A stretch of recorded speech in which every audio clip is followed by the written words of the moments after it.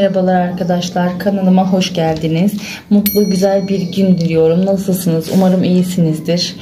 Hmm, Beni sorarsanız yaz geldi çok mutluyum. Böyle çiçeklerle uğraşıyorum. Pazara gidiyorum. Pazarda mutlaka bir çiçek görüyorum. Almak istiyorum. Bugün de küpeli çiçeğimi göstereyim size. Daha önce karanfil de dikmiştik birlikte. Küpeli çiçeğimi aldım. Bunun e, iç tarafı dışı beyaz böyle pembe oluyor. İçi de mor açıyor arkadaşlar. O kadar çok çeşidi vardı ki hangisini alacağımı şaşırdım. Direkt her yeri pembe olan vardı. Bütün pembe açan içi dışı ya da içi dışı beyaz açan vardı. Dışı pembe içi mor açan vardı. Ya o kadar çok çeşit vardı ki küçük açan vardı, büyük açan vardı. Allah'ım böyle bir saat falan bekledim herhalde. Bunu almaya karar verdim. Bunun dışları beyaz pembe gibi oluyor şu kenarları. İçi de mor açıyor arkadaşlar. Açınca da yine size videosunu çekerim. Bugün e, saksısına koyacağım bunu. Zaten bayağı da e, filizleri var, kökleri var. Böyle tek kök değil. Mesela çoğaltmak istesem ben bunu nasıl çoğaltırım? Şuradan şunu alırım. Zaten ben pazardan aldıktan sonra da şurada minik minik böyle gözüküyor mu? Gözükmüyor galiba. Minik minik yavrular vermiş.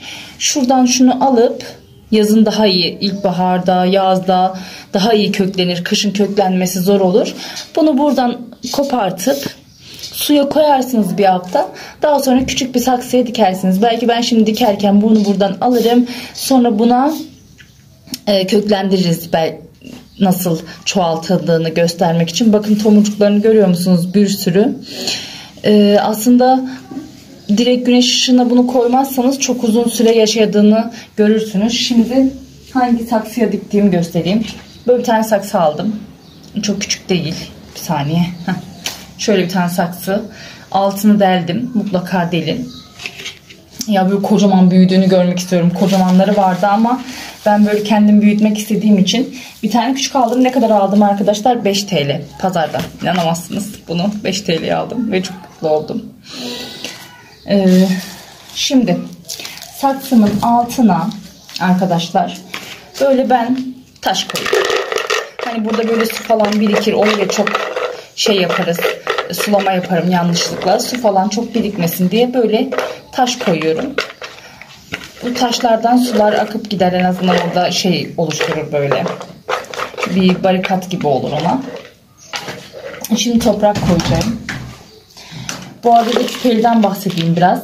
Böyle güneşi seviyor arkadaşlar. E, cam balkonlarınızda bakabilirsiniz. E, mutlaka cam balkonda bakın. Yazın dışarıda çok güneş almasın hani. Yani güneş seviyor ama böyle direkt aşırıda çok güneşe de maruz bırakmayın. Toprağımda normal çiçek toprağı ve bahçe toprağını karıştırıyorum. Sadece bahçe toprağı yapmıyorum ben.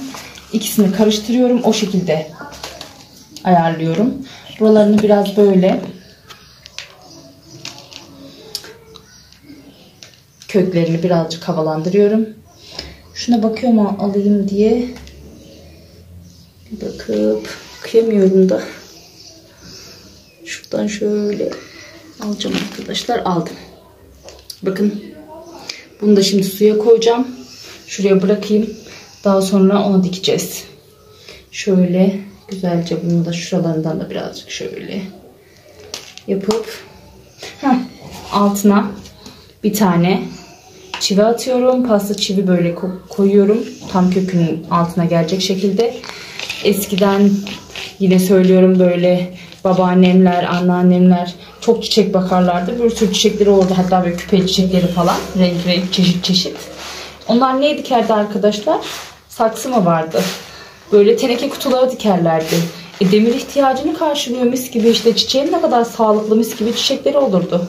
Çiçeğimden toprak döküldüğü için karıştırdım. Böyle koyuyoruz.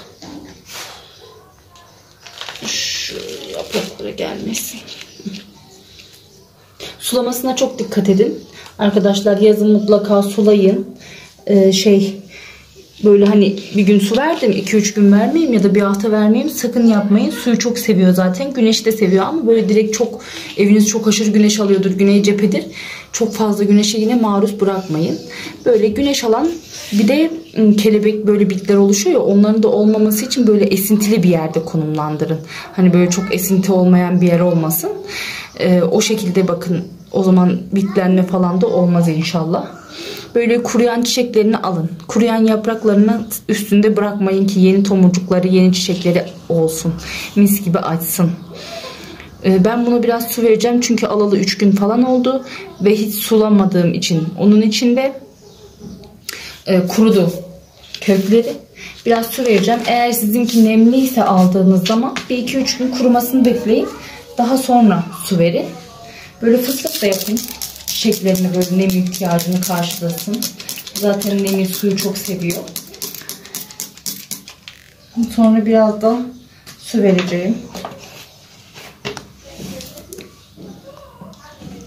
Ya sadece böyle çiçek toprağına diktiğim zaman bu su akıp gidiyor arkadaşlar. Ben de onu istemiyorum.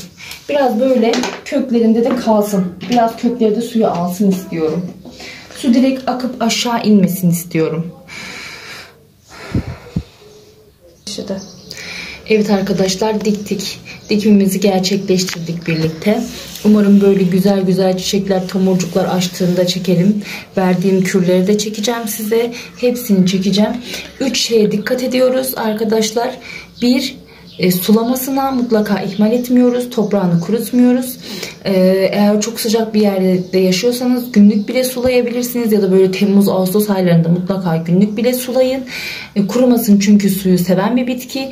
Böyle ihtiyacı oldukça yapraklarına fıs fıs yaparak e, yapraklarını da böyle nem ihtiyacını karşılayabilirsiniz. Eee İkinci husus güneş. Direkt güneş ışığına maruz kalmayacaklar. Çünkü direkt güneş ışığına maruz kalırsa sararıp solup ölürler. E, bakamazsınız bitkiye. E, üçüncü husus e, esintili bir yerde muhafaza edin ki bitlenmesin. E, bitlenirse yine çiçeğiniz ölebilir. Bitlenince sirkeli su yapılıyor. Onun da tarifini çekerim size e, bitlerine, sulamasına ve güneşine dikkat ederseniz mis gibi büyüyen çiçeğiniz olur. E, yaz kış sürekli çiçek açar. E, ılıman ortamları seviyor. Bu ayırdığımda burada. Bir hafta sonra inşallah köklenince bunu da birlikte ekimini yaparız. Bir hafta maksimum iki haftada köklenir. Ee, diyeceklerim bu kadar. Umarım videomu beğenmişsinizdir. Ee, kanalıma abone olmayı, beğenilerinizi ve yorumlarınızı atmayı unutmayın arkadaşlar. Ee, çiçek sever dostlarıma selam olsun. Hepinize iyi günler diliyorum. Hoşçakalın.